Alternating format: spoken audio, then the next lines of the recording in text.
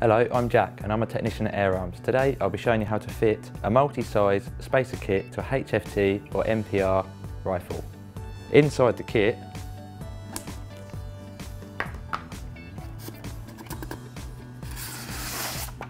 we have some instructions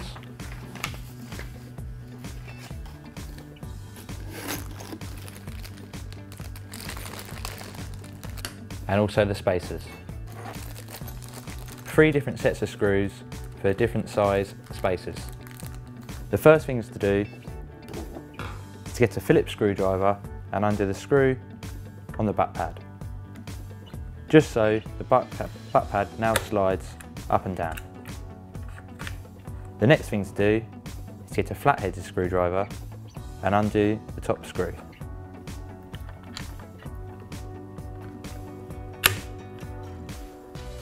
And now we also remove the bottom screw.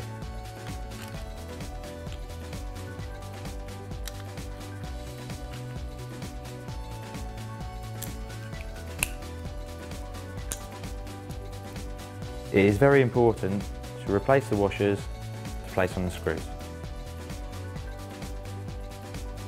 Now starting with the top screw of the back pad,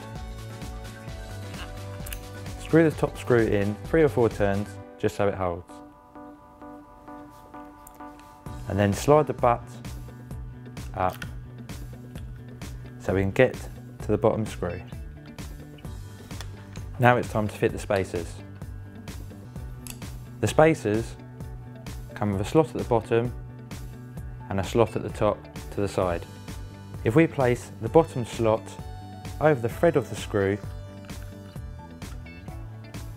and push the top slot over the threaded screw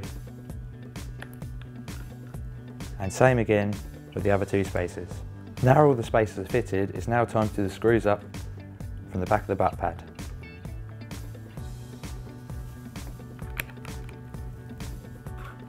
And slide in the butt down.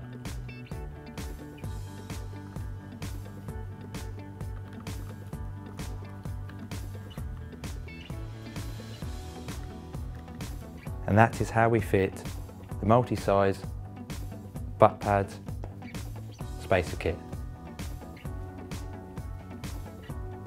For the latest products or information or helpful tips or advice, please go to air-arms.co.uk.